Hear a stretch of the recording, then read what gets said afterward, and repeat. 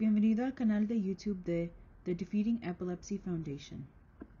En esta presentación discutiremos de qué son los espasmos infantiles, qué causan los espasmos infantiles, cómo determinan los médicos si un paciente tiene espasmos infantiles y el tratamiento para los espasmos infantiles. Un espasmo infantil es una inclinación repentina hacia adelante o hacia atrás del cuerpo, junta con una rigidez de los brazos o las piernas. Cada espasmo dura un par de segundos y generalmente ocurre en grupos. Los espasmos infantiles comienzan durante el primer año de vida o entre 4 y 8 meses. Por lo general, desaparecen a los 5 años, aunque otros tipos de convulsiones pueden tomar su lugar. Los espasmos infantiles también se conocen como síndrome de West. Cuando los espasmos ocurren al final de la infancia o después, se conocen como espasmos epilépticos. Hay muchas causas de espasmos infantiles. Las posibles causas son trastornos genéticos, trastornos metabólicos, desarrollo anormal del cerebro, lesiones cerebral y infecciones cerebrales. El síndrome de Down y el autismo son dos trastornos de desarrollo asociados con los espasmos infantiles. Muchos pacientes también tienen evidencia de parálisis de cerebral. Algunas causas de espasmos infantiles pueden conducir a retrasos en el desarrollo con o sin la presencia de espasmos infantiles. La edad de inicio ayuda a los médicos a reducir las posibles causas. Aunque son raros los espasmos infantiles, pueden comenzar neontalmente o más tarde en la infancia. Los médicos pueden determinar las causas de los espasmos infantiles en aproximadamente el 70% de los casos. Los médicos pueden usar una variedad de pruebas para confirmar un diagnóstico de espasmos infantiles.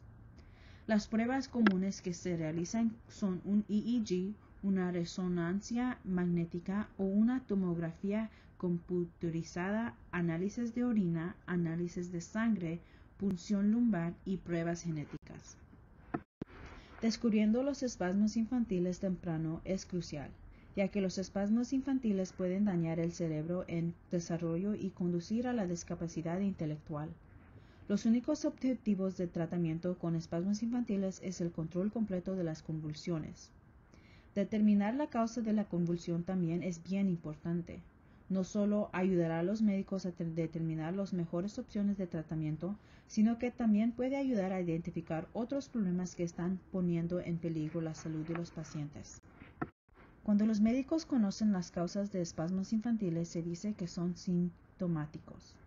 Si el médico cree que hay otra afección subyacente, pero no han determinado cuál es la afección, se dice que los espasmos infantiles son criptogénicos.